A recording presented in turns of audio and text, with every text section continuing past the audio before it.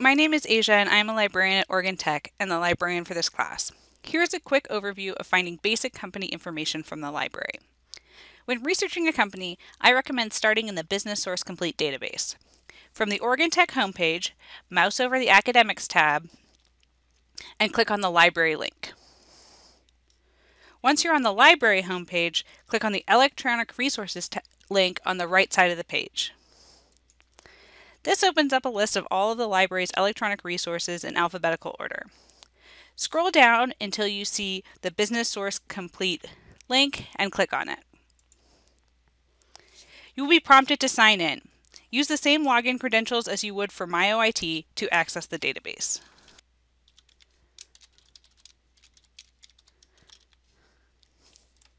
Once you're logged in, type your company name into the search box and hit search.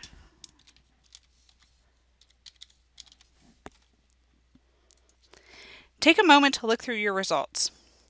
You can filter these results using the limiters on the left side of the page. You can also click on the arrow on the right side of the page to access company information for your company. From here you can find basic information as well as links to different types of materials related to your company.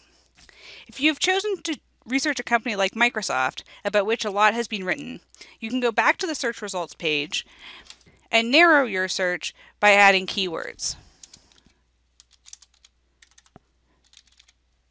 For example, here are the results of a search for Microsoft and management.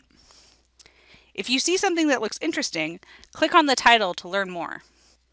You will find information about the article in the center of the page, as well as links to access the article on the left side of the page. On the right side of the page, you will find options for saving the article, as well as information on how to cite it in your paper. I hope this brief preview gives you the tools you need to begin your research. I look forward to learning more about your topics and providing you with specific feedback. In the meantime, please don't hesitate to let me know if you have any questions. Thanks.